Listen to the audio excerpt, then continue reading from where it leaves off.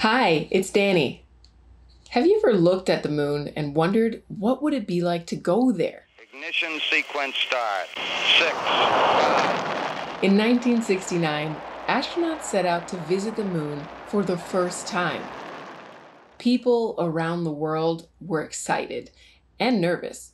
Could they do it? It was a daring plan, and it worked. The Eagle has landed. The first person walked on the moon, It's one small step for man, and millions of people all over the world watched and cheered. One giant leap for mankind. It was an incredible moment in history. And now, a new group of astronauts are preparing to reach the moon. They're part of the Artemis program. Artemis astronauts plan to live on the moon for almost a week. It'll be the first time anyone has tried that, and it's happening in your lifetime. Three, two, one, and liftoff. You will get to see history as it happens. Someone named Sophia has a question about space. Let's give Sophia a call now. Hi, Danny. Hi, Sophia. I have a question for you. How do astronauts get ready for space? Great question. While this Artemis moon landing is still years away, astronauts are already preparing. Like astronaut Jessica Watkins. Jessica Watkins is a scientist who studies rocks and rocky planets like Mars. She went through intense training to become an astronaut, and now she's already spent more than 150 days in space. Jessica Watkins has handled all kinds of challenges in space, from fixing machines to growing food. But this new trip to the moon will have big challenges. No one has lived on the moon for six days before. You might already know some of the ways the moon is different from Earth. For one, there's no air to breathe. Astronauts need to wear special suits with oxygen. There's also very little gravity to hold astronauts down. They need to get used to moving their bodies in new ways. So, how do astronauts get ready for such a different place? I'm curious, what do you think? If you were an astronaut, what would help you get ready to work on the moon? Now would be a good time to pause the video and discuss.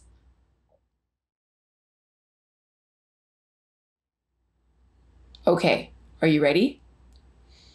A lot goes into getting ready for the moon, but some of it's similar to how you might get ready for a soccer game or a concert. Astronauts practice. To practice, astronauts need some place on Earth that's like the moon, some place with no air to breathe, where their bodies will be weightless and floaty.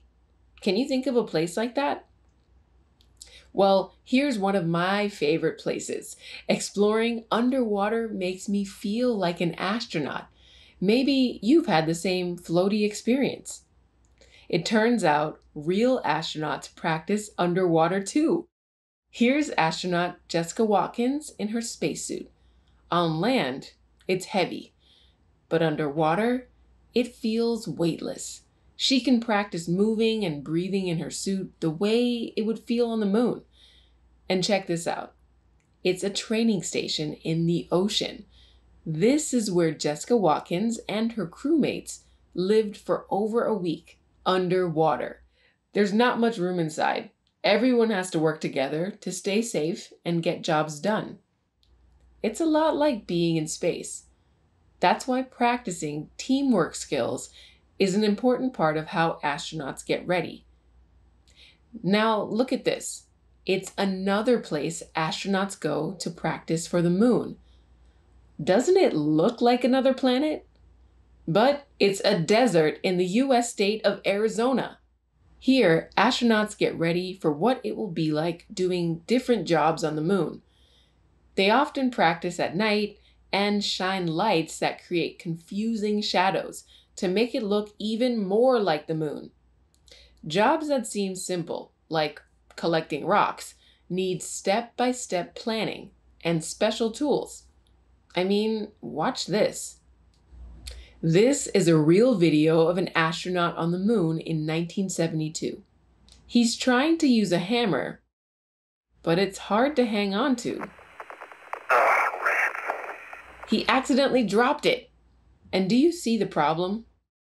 Now he can't pick it up because the spacesuit doesn't bend.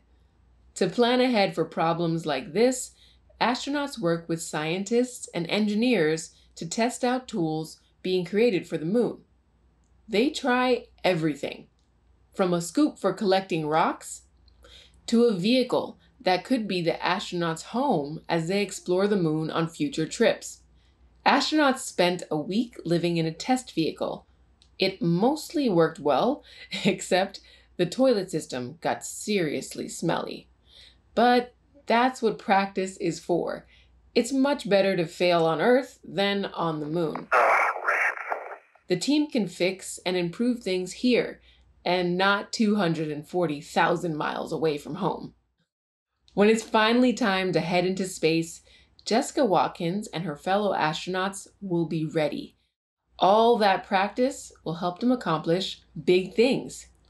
They plan to travel farther into space than any humans have gone before to visit an unexplored part of the moon. And through future Artemis missions, the first woman and first person of color could walk on the moon. That's an important step forward. 60 years ago, when America's first astronauts were selected, women and people of color were unfairly excluded. Back then, Jessica Watkins and many of her teammates would not have had the opportunity to become astronauts. But now, they're ready to make history. And you can follow in their footsteps. This Artemis moon mission is practice for even bigger plans, like building a station on the moon, and someday sending people to Mars. This is one small step into our solar system. There's so much more out there, and it will take the teamwork of our entire human family to explore it. Three, Future history makers like you have the potential to make big things happen. For updates on the Artemis program, you can follow NASA online. And if you're curious to know more about being an astronaut, check out our interview with another Jessica on the Artemis team. Hello, everybody down there on the planet Earth. My name is Jessica Meir, and I am a NASA astronaut currently on board the International Space Station. That's all for this week's question. Thanks, Sophia, for asking it. Now, we'll be back with a new episode in a couple of weeks. But in the meantime, here are some older questions from the question jar. You can vote on which one you think we should send out next week. You can choose from Could a mountain turn into a volcano? Why do we yawn?